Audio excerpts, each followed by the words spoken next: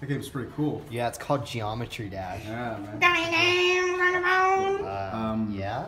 Can I play? Ew, no, go away.